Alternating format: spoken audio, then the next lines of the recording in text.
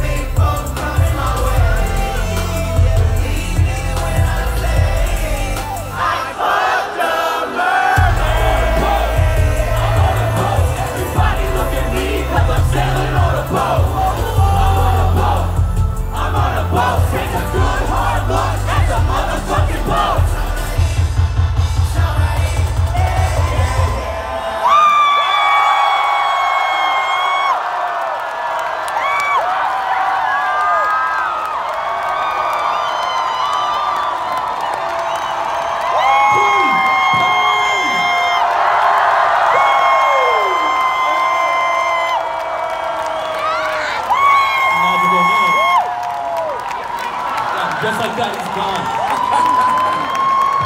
All right. He vanished. We want to say thank you to T-Pain. We want to say thank you to the real Jose Canseco. We want to thank all of you. And one last time, everyone all together. You know the words. If anyone wants to fuck me.